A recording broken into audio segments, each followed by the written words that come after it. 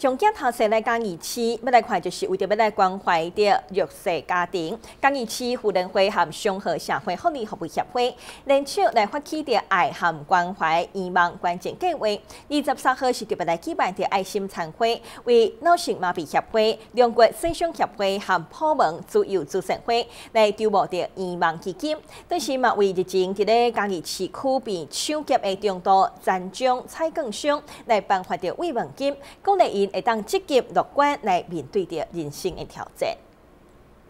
江义市脑马协会学员带来精彩的舞蹈演出，展现训练到时的成果，充满着信心和活力的表现，嘛，互主持参会的现场充满着温馨的气氛。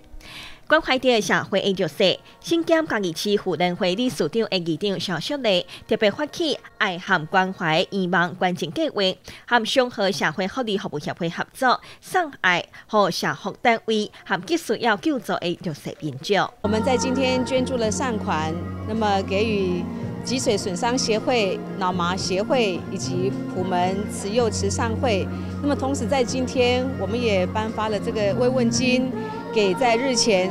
那么中度残障的这个那个券商，那么受到这个抢匪抢夺券那个彩券的这个这个券商给予慰问。